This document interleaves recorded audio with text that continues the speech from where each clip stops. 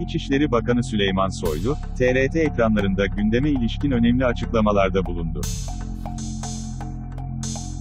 YouTube üzerinden kendisini hedef alarak çeşitli iddialarda bulunan Sedat Peker'le ilgili de konuşan Bakan Soylu dikkat çeken ifadeler kullandı.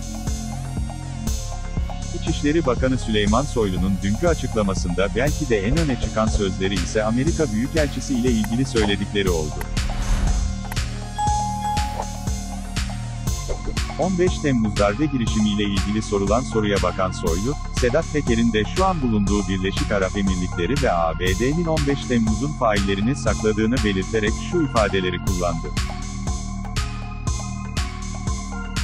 Birleşik Arap Emirlikleri, ABD ile birlikte 15 Temmuz darbesinin failidir. Bu söylemler için bir sipariş verilmiş, anlaşılmıyor mu? Yalan ve iftira ile Türkiye iktidarını yıpratmak istiyorlar. Amerika Büyükelçisi'nin kendisinden randevu istediğini belirten Soylu, ABD Büyükelçisi randevu istiyor, vermedim, vermeyeceğim, dedi.